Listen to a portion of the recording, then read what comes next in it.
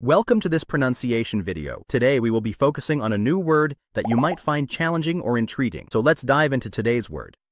Emotions, which means complex feelings that result from one's circumstances, mood, or relationships. Let's say it all together. Emotions. Emotions. Emotions. One more time. Emotions. Emotions. Emotions. Thank you for joining us on this adventure in pronunciation. Remember, language is a journey, not a destination. Keep exploring, experimenting, and expanding your linguistic horizons. We'll see you next time.